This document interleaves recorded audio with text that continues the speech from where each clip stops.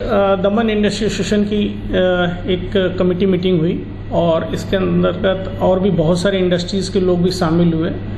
Meeting का मकसद ये था कि जो भारत सरकार जिस तरीके से हर घर तिरंगा का आह्वान हमारे यशस्वी प्रधानमंत्री श्री नरेंद्र मोदी जी ने किया है हमारा दमन प्रशासन भी पूरे ज़ोर शोर से इसको जन जागृति का अभियान फैला रहा है। एक बहुत बड़ी मुहिम है। इससे हमारे राष्ट्रीय महत्व और राष्ट्र के प्रति हमारी भावनाओं को आगे लाने में मदद मिलेगी।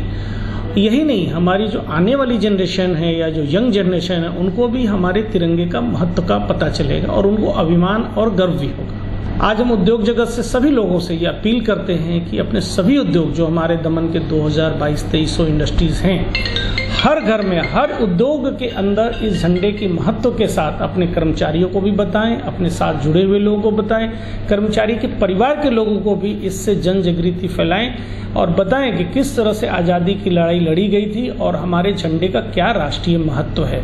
हम उद्योग से जुड़े हुए, आज बहुत सारे लोगों को हम लोगों ने झंडा वितरण भी किया और इसकी उद्योग में एक विधिवत शुरुआत की हमारे डीआईए हॉल में आज के दिन में। पूर्व अध्यक्ष श्री कुन्नानी जी ने झंडे की महत्व को बताया कि उसको किस तरह से एक उचित सम्मान देना है और कैसे झंडे को रखना है और उसकी तीन दिन, तेरह, चौदह, पंद्रह अगस्त को पूरे ज़ोर शोर से मतलब हर घर तिरंगा के साथ, हर उद्योग के अंदर तिरंगा किस तरह से लहराया जाए। खबरों में बने रहने के लिए के ट्वेंटी को सब्सक्राइब कीजिए और बेल आइकन दबाइए।